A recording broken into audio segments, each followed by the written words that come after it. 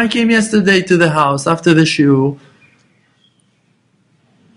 I just stopped one minute before I entered to the house and I prepared myself. I said, Dror, now you go into the house with one purpose to give. And now you can make it.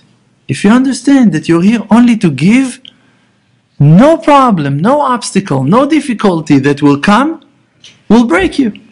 You will manage every hard time, every difficulty, every stressful situation that you will find in front of you.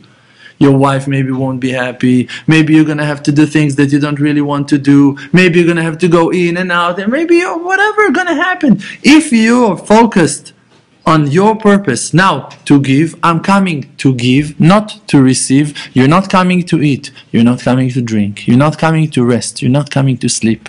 You're not coming to receive no pleasure. You just come to give so you can deal with every situation. That is what the Rabbeinu said on the verse Hayom im bekolo tishmau.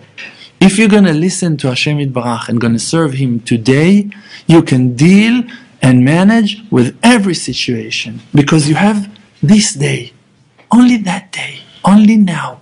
You need to serve Hashem today.